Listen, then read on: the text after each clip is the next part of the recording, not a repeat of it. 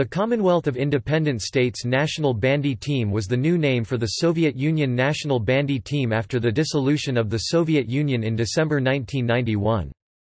The team only existed in January and February 1992, playing games which the Soviet Union previously had been booked for.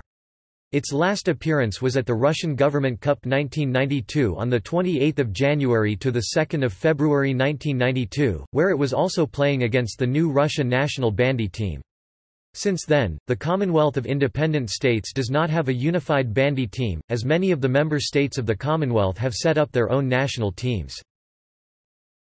There was also an equally short-lived youth team for the Commonwealth, taking part in the 1992 Bandy World Championship Y-23.